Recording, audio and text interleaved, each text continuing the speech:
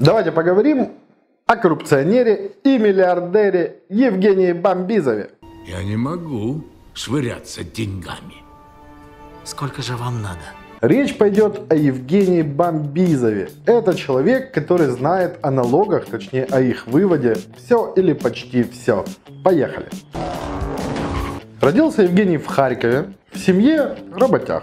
Работали его родители на заводе «Радио Реле». Это достаточно известный был в Советском Союзе Харьковский завод, у которого было очень много недвижимости. Почему это важно? Потому что впоследствии, уже в 90-х, его отец начал колотить состояние на сдаче этой недвижимости в аренду. Само как-то продалось. Евгений закончил Харьковскую школу, потом университет Карразина и в 2003 году пришел на работу в налоговую Шевченковского района простым инспектором.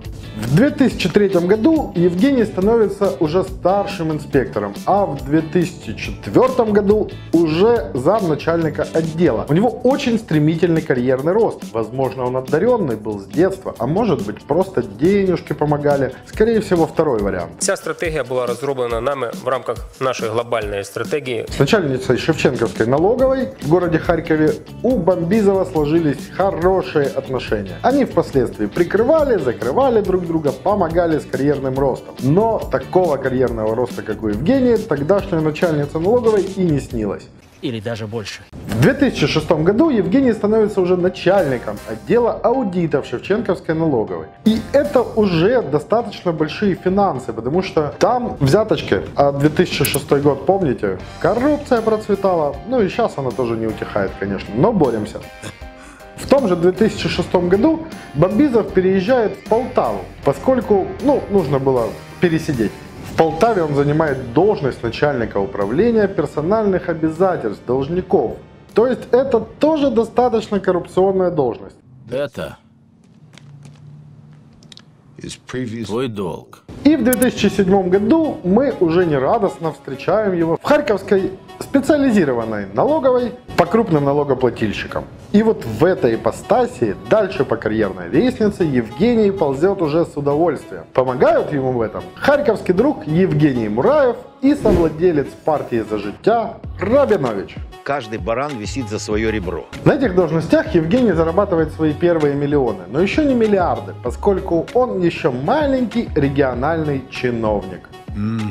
Работает он при Ющенко, работает он при Януковиче, а в 2015 году, уже при Порошенко, проходит люстрацию. Не нашли, почему надо было снять этого товарища. А может быть Евгений Мураев, Рабинович и Арсен Борисович Аваков помогают ему удержаться на должностях и не просто удержаться, а еще и пойти на повышение. Конечно, Украина это же страна больших возможностей, правда для ограниченного числа ее жителей. Не могу сказать, что я удивлен.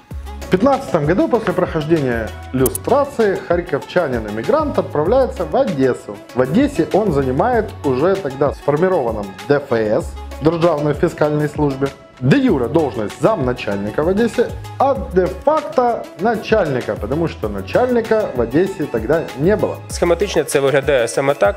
В Одессе Бомбизов рассказывает, какой он бедный, какой он несчастный. У него всего 80 тысяч дохода за прошлый год, а у жены там 10 тысяч с копеечками по выплате на ребенка, который уже третий был в их семье. Бомбизов говорит, что квартиру оплачивает его отец, но при этом щеголяет в очень дорогих костюмах, разъезжает на машинах друзей, которые берет покататься, и носит на руках часы стоимостью в два годовых оклада на его должности. Це абсолютний факт. И с 16 года, казалось бы, Евгению поперло. Поперло по-крупному, потому что Евгений становится в Киеве начальником офиса крупных платников податков. Это очень денежная должность, потому что именно этот офис в налоговой собирает 60% от всех налогов страны. И там же решаются и скруточки, и все вот это вот. И вот уже на этой должности Евгений в Киеве представляет особый интерес для своих покровителей, тех людей, которые помогли ему этот карьерный рост осуществить. А карьерный рост поистине великий. С 2003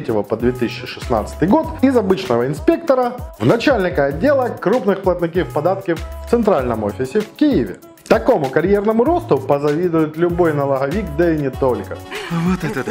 Журналистам стало известно, что вот эти вот откатики там в 30% от НДСика скрученного, 1,2% от конверт-центров, которые тоже не забывал любить Евгений Бомбизов, уходят на счета компании его товарища Вадима Горошка, который в свою очередь остаточные суммы переводит, ну себе берет процентик, и переводит их в офшоры для Евгения и на счета партии «За життя» Рабиновича.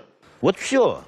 Больше ничего не надо. Вот такое объяснение, собственно говоря, продвижения Евгения по службе с заделом на несколько лет вперед. Мне, как харьковчанину, истинно стыдно перед всеми украинцами. Я хочу принести от себя личное извинение, что из Харькова вышел вот такой вот коррупционер, который грабит нас на налоги. С Евгением Мураевым и еще другими известными личностями в Украине Бомбизова связывают общие сделки и по медиахолдингам, и по коммерческим компаниям, и по скруточкам НДС, а потому что именно в его офисе все это начинает происходить. Начинает не в смысле с него, до него это тоже делали, но на нем это все теперь базируется. Возможно.